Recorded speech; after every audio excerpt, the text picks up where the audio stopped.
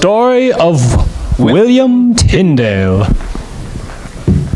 Ah, William, it's good to see you. How can I help you? Uh, Bishop, I would like to speak with you about an ambitious idea I've had. Ah, well, we love ambitious projects. Uh, what were you thinking? Building another cathedral? Um, no. Uh, uh, funding another war to the Holy Land? N- no, no. Um, I was thinking more practical. I was thinking we could translate the Bible to English so the common people could read it. Oh, well, that sounds very. What? Well, yes. Shouldn't the common people be able to read God's Word? Of course not. If, if they could, they'd know we weren't telling them everything. Well, that's kind of the point of them reading it. No, no. The Pope's word is highest. The, the, only the Church has the authority to read the Holy Scriptures. Well, if, uh, if it's God's will that I complete my work, the common plowboy shall know more about the Scriptures than you. Oh, how dare you do such the... Who gives you the authority to do such a thing? Uh, God? Heresy! Get out of my sight! Get, get out of here!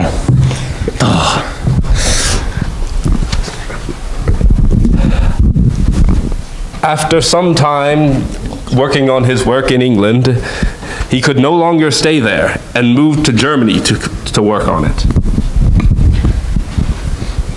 Yeah, hello. Are you William? Uh, yes, I'm William. My accent's not. No, I, I don't do accents. All right, I'll, I'll stop it with the German. I'm not German anyway. Okay, sir. I'm not German. I've heard you're working on some books. Uh, yes, I'm working on a translation of the Bible. Oh, I would like to buy you a couple. Oh, how, well, how many? All of them.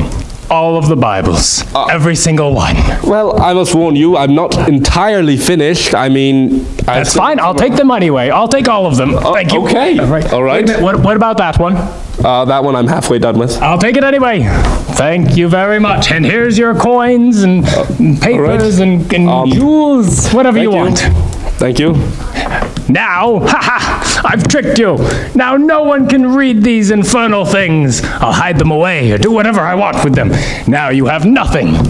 Um, well, actually, you just gave me enough money that I can make way more and better ones. So thank you very much, sir. Wait, wait, wait, wait, wait, wait. I, a refund, refund. Uh, I'm sorry, but uh, all sales are final. Well, No, no. I, I have a receipt. Oh wait, no, I don't. No.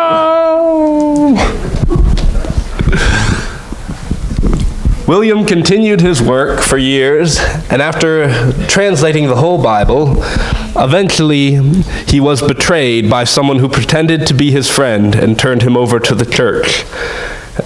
He was kept in a dungeon for year, for months until he was going to be executed. But at his execution, he was given he was allowed to say some final words. His final words were a prayer. Oh Lord, please uh, open up the King of England's heart and let him see the truth. Kill him. Ah! One year later, there was an English there, there was a translation of the Bible in every English church as the King of England had decided to leave the Catholic Church. The end of William Tyndale.